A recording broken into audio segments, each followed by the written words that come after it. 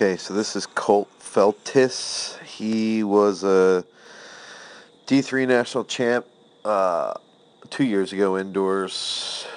He got third outdoors that year, and then he got second indoors and outdoors of this past year. So he he's a national champ. I think his PR is like 1860. I got to see him throw indoors last year. Uh, Trevor, the guy I've tr- coached since 10th grade, got fifth. Had a huge foul there, but Colt, I want to say Colt was in the lead for a while. Um, that was a really good competition. This kid's a stud, though. Actually, he might not have been a lead. I think he might have had a bigger throw in the last round that bumped him to second, but uh, yeah, he's a stud. I'll play this in full speed.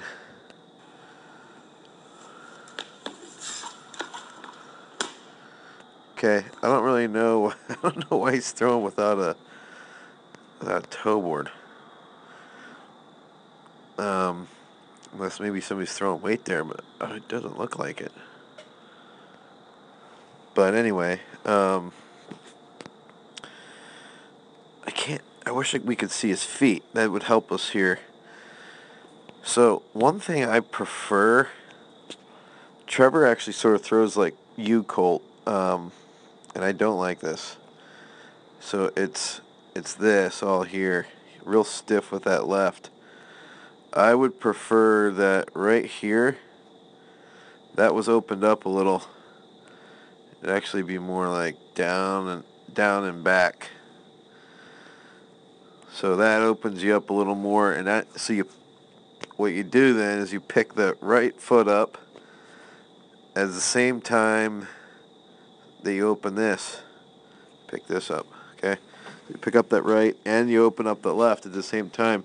And what that's going to help is pick up a little bit of speed to the middle with your right leg. So right there, your right's a little bit behind.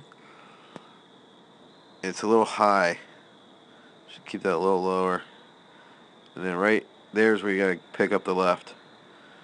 Right there. There. Pick it up. Pick it up. Pick it up. So he's not too bad. He's a little extended here, but it's not bad. I don't necessarily like the left arm.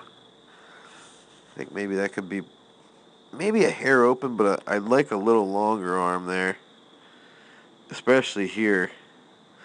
So I think he's a little he's a little long on that left, and then what happens is that you can see here, he gets a little tight the front. I think, Colt, when you come out of the back here, try and throw that right foot down more. So and and as the as the it's like the same moment that you throw the right foot down, you rot you pick up that left and rotate it more to the corner. So it's like the same time you have that urge to throw down, you have the exact same time you rotate off that left. What's going to happen is that that right is going to get down right away, and your left is going to have good rotational pull getting to that corner. So that right will give you, you get a little bit more room to have a little wider base at the front. Okay.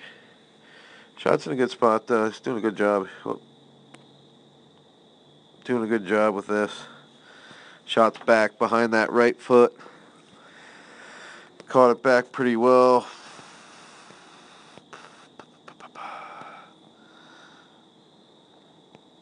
I still, I don't really like this point. I think that could be raised up a little. Keep it that same wrap, but have your arm raised up and longer. Because what's going to happen then is that if that el- if that's elevated a little, that left arm, if you raise that up, push that up, push that up, you're going to have more weight getting into that left foot faster.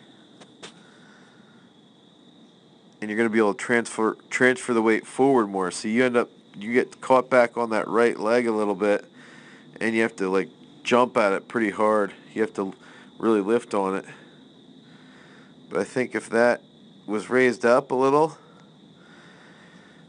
you raise that arm up and the left leg then goes down quicker. Okay? and, and then you can work out on the ball with more rotational force. I don't know if you follow me on this. But dude, I mean, this is still a pretty good freaking throw, especially there's no toe board. I can't believe you're throwing without a toe board. Yeah, like that's smooth. That's not bad. So, Cole, I think you you look good. You just you know pick that up quicker out of the back. Maybe open up that left arm. Get off at the same time that you're throwing. Raise that left arm up. Right here, up a little. Right in that point. And you're gonna kill one, dude. So yeah, it looks good.